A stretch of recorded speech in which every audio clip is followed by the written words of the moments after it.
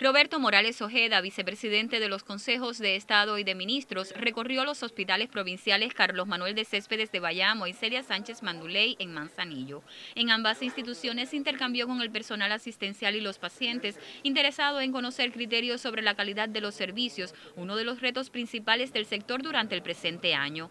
Y a lo mejor no tenemos cama en un determinado servicio, pero lo muevo para otro y después lo traslado cuando se me una cama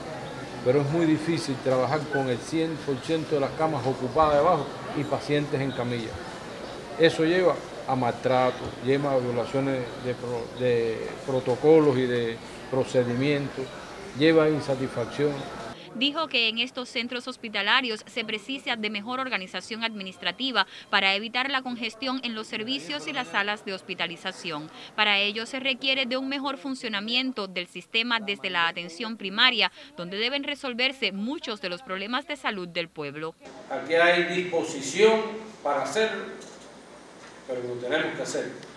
Y se tiene que ver reflejado en esos indicadores de proceso y en los indicadores de resultados y sobre todo se tiene que ver reflejado en la satisfacción del pueblo,